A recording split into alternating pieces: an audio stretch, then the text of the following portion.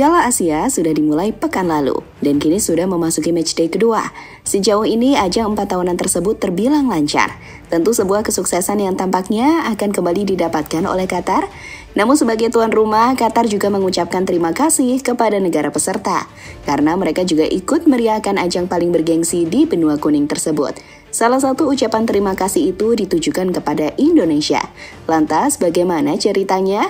Berikut ini adalah jawabannya.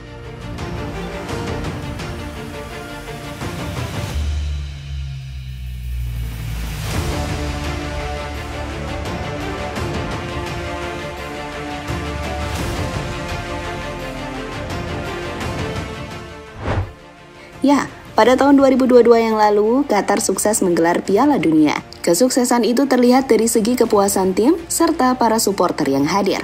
Sesuatu yang sangat wajar, karena pada Piala Dunia yang lalu, Qatar benar-benar sangat totalitas ketika menjadi tuan rumah. Bahkan mereka sampai mengeluarkan uang lebih dari 3.000 triliun untuk mempersiapkan itu semua. Mulai dari stadion, lapangan latihan, hingga aspek-aspek lainnya. Tak hanya itu, Negara Timur Tengah tersebut juga memperhatikan beberapa hal yang mungkin terjadi. Salah satunya adalah iklim panas yang ada di sana. Maka dari itu, Qatar sampai menyediakan sebuah fasilitas pendingin yang ada di stadion. Tujuannya adalah supaya fans yang menonton pertandingan tetap merasa nyaman tanpa merasakan panas sama sekali.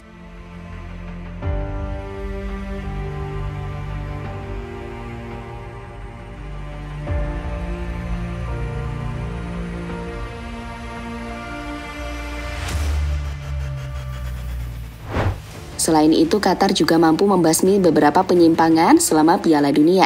Di antaranya adalah isu LGBT yang terus digaungkan oleh negara-negara Eropa seperti contohnya Jerman. Atas tindakan itulah, Qatar langsung mendapatkan pujian dari beberapa negara, termasuk negara-negara dari Timur Tengah seperti Arab Saudi, Iran, hingga Yordania. Emir Qatar selaku pemimpin tertinggi kemudian memberikan pengakuan jika negaranya sudah memenuhi janji untuk menyelenggarakan kejuaraan besar seperti Piala Dunia. Kami telah memenuhi janji kami untuk menyelenggarakan kejuaraan luar biasa oleh negara-negara Arab yang memberikan kesempatan bagi masyarakat dunia untuk belajar tentang kekayaan budaya kami dan orisinalitas nilai-nilai kami, kata Emir Qatar pada situs resmi FIFA.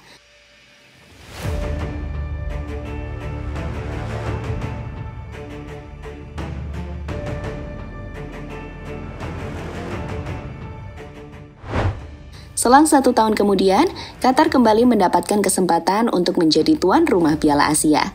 Mereka berhak menjadi tuan rumah setelah ditunjuk AFC untuk menggantikan China yang mengundurkan diri.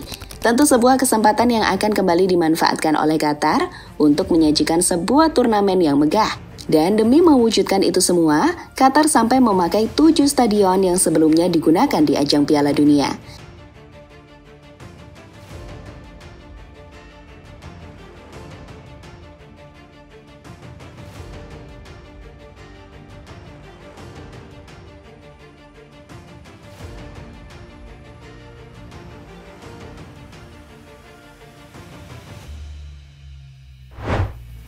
Emir Qatar kagum dengan penyelenggaraan Piala Asia.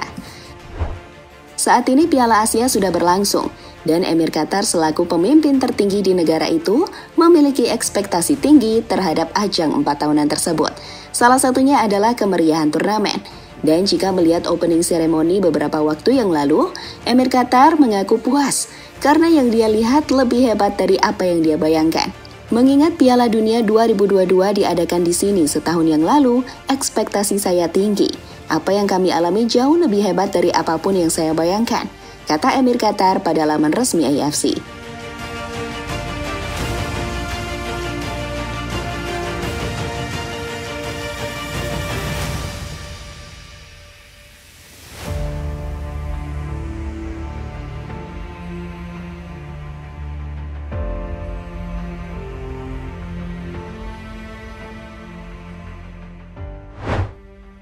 Indonesia ikut meriahkan ajang Piala Asia. Kemeriahan Piala Asia tentu juga mendapatkan dukungan dari negara peserta.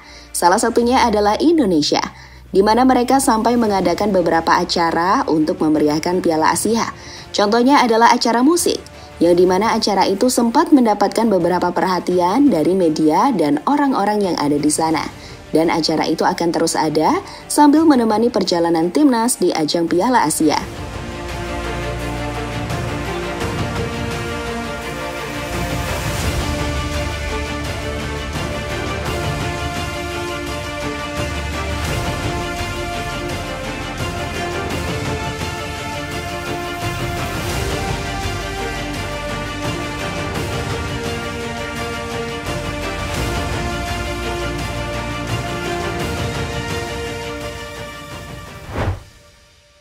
Jadi Piala Asia terbaik.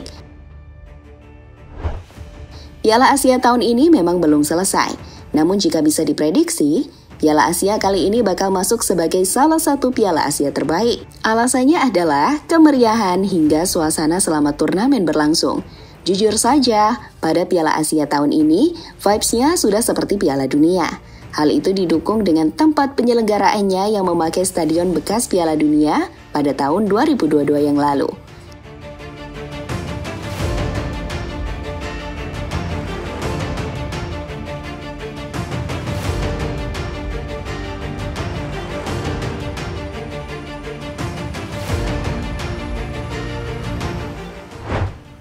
Jadi itulah saat Emir Qatar kagum dengan penyelenggaraan Piala Asia tahun ini.